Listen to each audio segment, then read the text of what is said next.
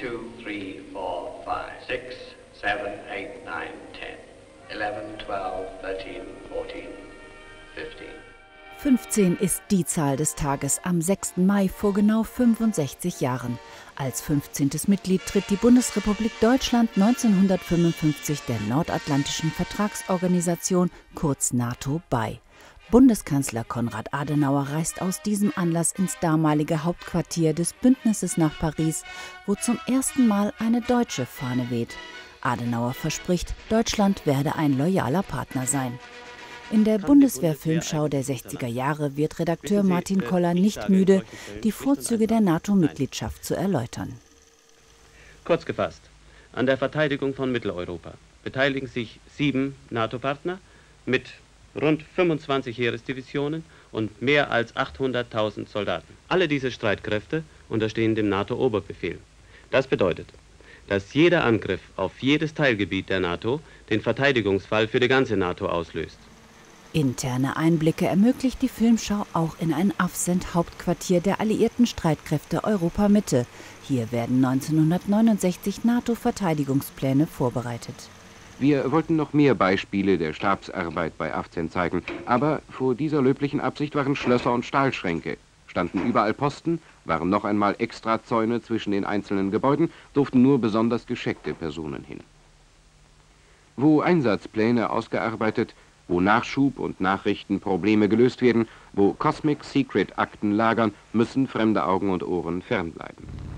Hinter verschlossenen Türen, aber dennoch im Licht der Öffentlichkeit, trifft sich die nukleare Planungsgruppe der NATO 1971 in Oberbayern.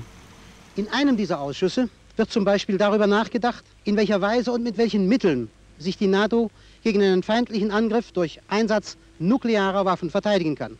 Dies geschieht in der nuklearen Planungsgruppe, abgekürzt NPG. In diesem Komitee besprechen die Verteidigungsminister von acht Partnerstaaten zweimal im Jahr und immer in einem anderen Land die Ergebnisse der Studien und Analysen zu diesen Fragen. Mehr noch als in Vorbereitung und Planung ist die Bundeswehr von Beginn an in Manöver der NATO eingebunden. Diese dienen der internationalen Vorbereitung auf mögliche Einsätze und umfassen alle Teilstreitkräfte. Schlagzeilen macht beispielsweise 1975 die Große Rochade, anlässlich des 20-jährigen Jubiläums Deutschlands in der NATO. Zur Unterstützung der Landstreitkräfte findet dabei zum ersten Mal zeitgleich eine NATO-Luftwaffenübung statt. In über 1000 Aufklärungs- und Kampfeinsätzen fliegen neben den deutschen auch amerikanische, britische, französische und kanadische Piloten.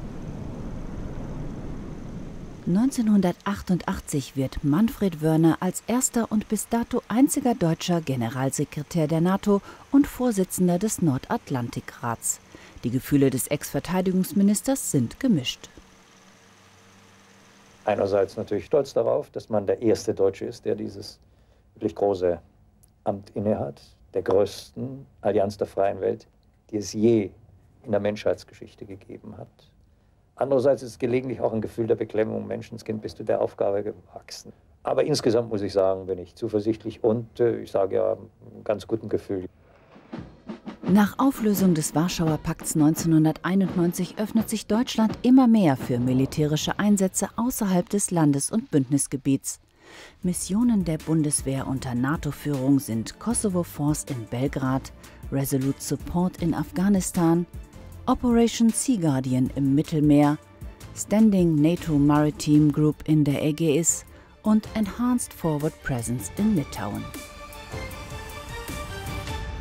Nicht abreißen werden groß angelegte NATO-Manöver. So ist beispielsweise das rund vierwöchige Trident Juncture 2018 in Norwegen mit rund 50.000 Soldaten aus 29 NATO-Mitgliedstaaten eine der beeindruckendsten Übungen der jüngeren Geschichte.